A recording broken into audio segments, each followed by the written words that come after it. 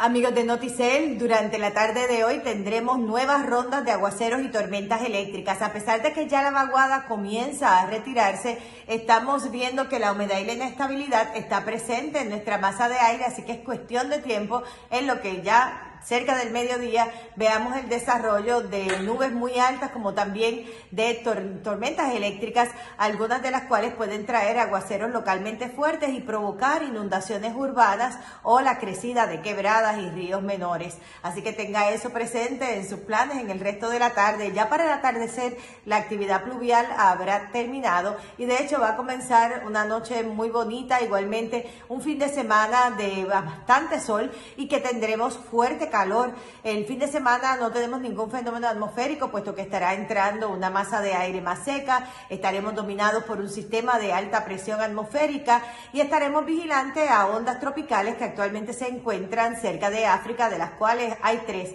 dos sobre el Océano Atlántico y una sobre tierra que estará saliendo de las costas de África durante el fin de semana. Todavía no está claro cómo va a ser la interacción de estas ondas tropicales de forma consecutiva, pero independientemente estos fenómenos tienen mediana a alta probabilidad de desarrollo y una de estas en particular, que es la que está al suroeste de las islas de Cabo Verde, tiene hasta un 70% de posibilidad ciclónica durante el fin de semana o el inicio de la semana entrante. Así que hay que esperar a que todo este proceso realmente madure a través del Atlántico para entonces poder estar segura de los modelos que se van a correr para entonces determinar si representa de algún interés para la zona de las Antillas menores o mayores. Al momento no parece, pero de todas formas hay que estar vigilante puesto que ustedes saben que estas próximas tres semanas pues siempre son las semanas más activas y por lo menos las de mayor amenaza siempre para nuestra región en el Caribe.